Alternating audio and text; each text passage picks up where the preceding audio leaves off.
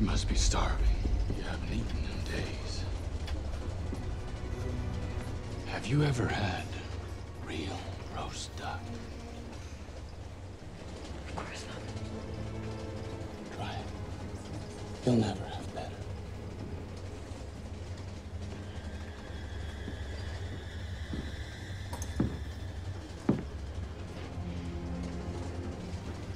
What are you? Church teaches us that the eyes are the windows to the soul. And that since vampire evolved without eyes, it is a soulless creature to be eradicated. But I have seen the soul of the vampire. And let me tell you, it is far more pure than that of any man. Now you ask me what I am. I am the bringer of the tide. I am the wave that'll wash clean this unclean world.